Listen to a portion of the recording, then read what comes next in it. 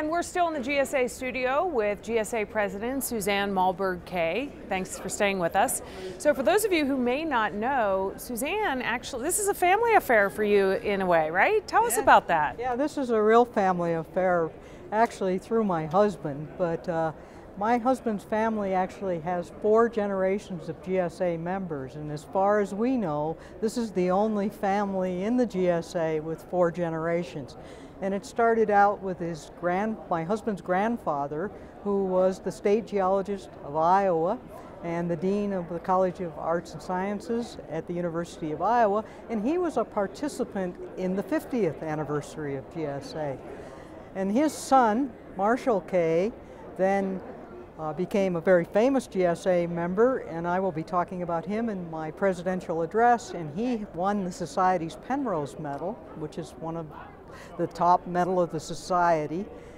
And then we come to my husband, who is a geochemist and is actually very well known for his early work on the ocean ridges and geochemistry. And the fourth generation is then my daughter, who is actually more in atmospheric science, and so showing the continuation of the evolution of science in the family. This just runs through the blood, huh? It runs through the blood, and my brother-in-law actually won the Day Medal, which is the other large medal of the Society. Well, this must be a really exciting time for you and your entire family then, right? Yeah, so. it, it's exciting, at least at least I'm doing something different than the rest of them. okay, and speaking of presidents, you got a letter from President Obama, correct? Yeah, what yes. Was that about? We, we, were very excited. We received, the Society re received a letter from President Obama. It was a very nice letter. He talked about the importance of geological sciences and the importance of science in, in society. In organizations like this, international relationships and connections are extremely important, right? And what is GSA, how does GSA manage that?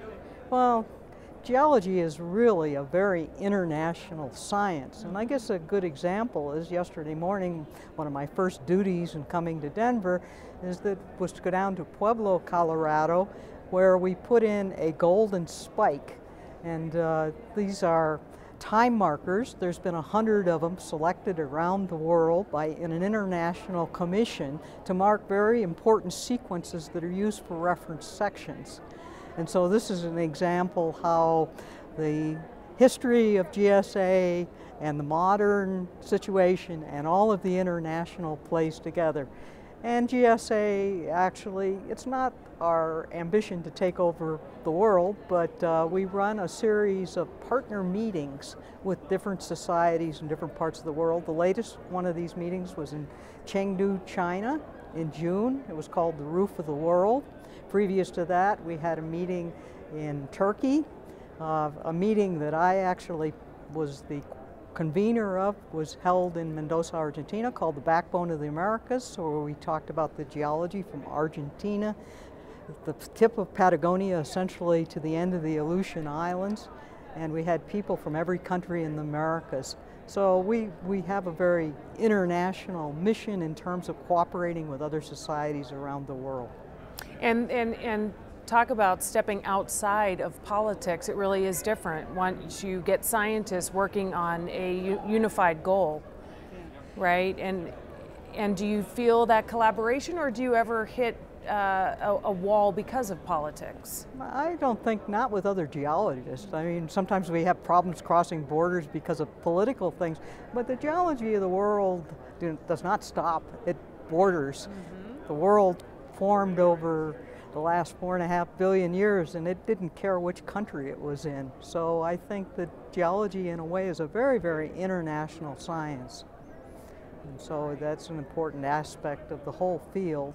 Yeah. And it's reflected at GSA. We have people working all over the world and they come back to share their adventures. One of the sessions that will be at this meeting is on like the National Geographic Society on exploration, and they're talking about how really geologists were some of the earlier explorers as well.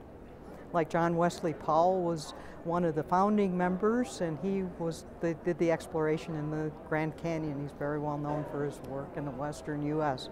So, anything else you want to add before we let you go? Well, I would like to welcome everybody who's watching this to the meeting and please come and enjoy all the sessions and we're looking forward to seeing you in Vancouver next year.